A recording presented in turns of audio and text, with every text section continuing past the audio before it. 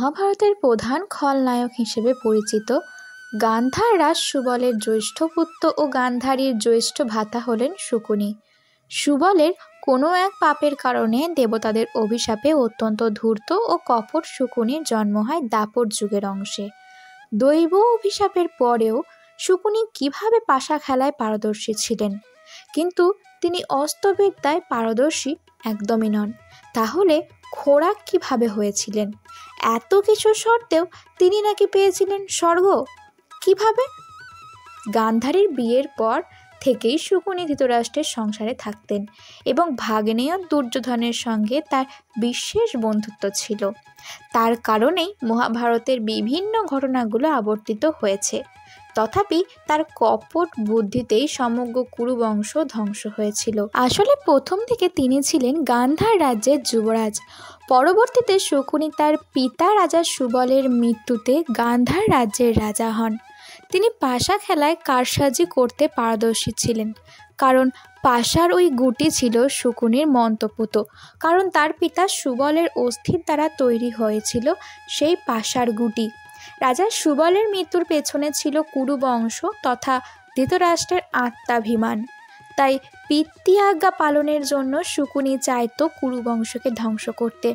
এই জন্য স্বর্গপ্রাপ্তিও হয়েছিল তার।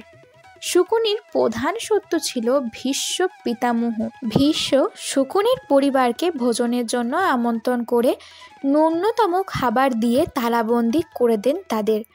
গান্ধারী ও ধৃতরাষ্ট্রের বিয়ের সময় রাজা সুবল মিথ্যা রাশিফল দিয়েছেন জেনে তিনি এটি করেছিলেন। জ্যোতিষীরা প্রথমে ভবিষ্যৎবাণী করেছিলেন যে গান্ধারীর প্রথম স্বামী নাকি মারা যাবেন। তাই গান্ধারীকে প্রথমে একটি ছাগলের সাথে বিয়ে দিয়ে দেওয়া হয়েছিল। পরে সেই ছাগলটি বলিও দেওয়া হয়। তাই ধৃতরাষ্ট্র এটি জানতে পারেন যে তিনি ছিলেন তার দ্বিতীয় স্বামী।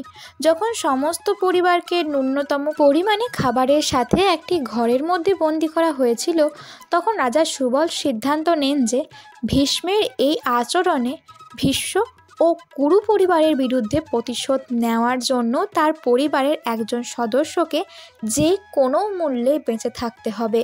তাই সবচেয়ে চতুর্পুত্র শুকুনিকে বেছে নেওয়া হয় তাদের প্রতিশোধ নেওয়ার জন্য।